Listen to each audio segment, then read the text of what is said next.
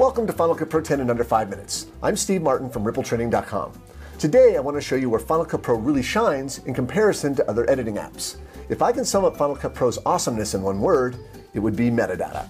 In this episode, I'm going to show you how Smart Collections can help you organize your footage in a matter of minutes. I've just returned from vacation with a bunch of footage and I want to create a video that people will actually want to watch.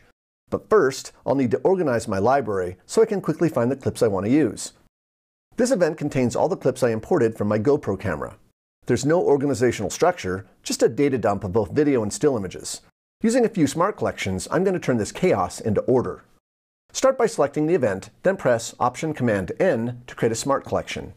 I'll name this smart collection Photos. I'll press Option Command N to create a second smart collection and name it Video.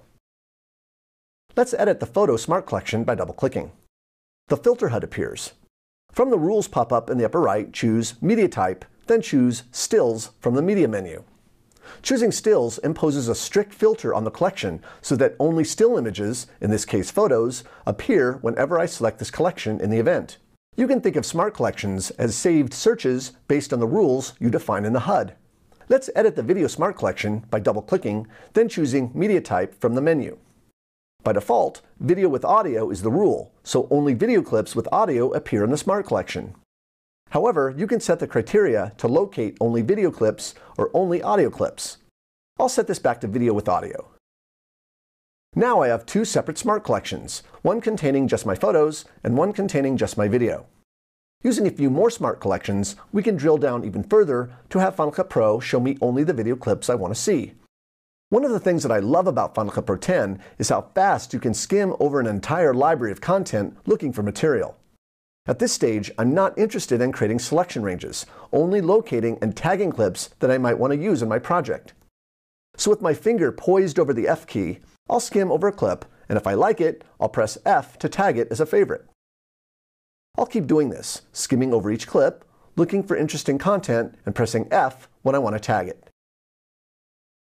To see all your favorites, select Favorites from the Filter menu.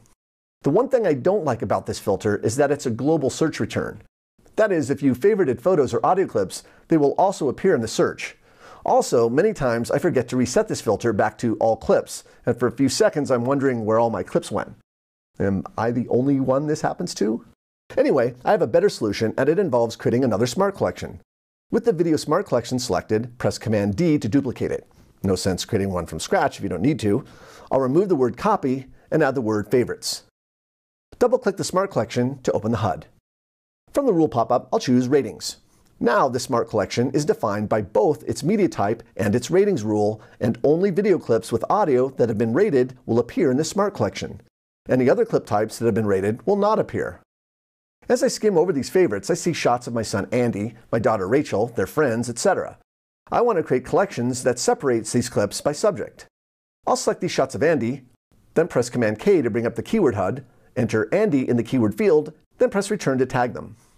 I'll do the same for Rachel, selecting her clips, then tagging them.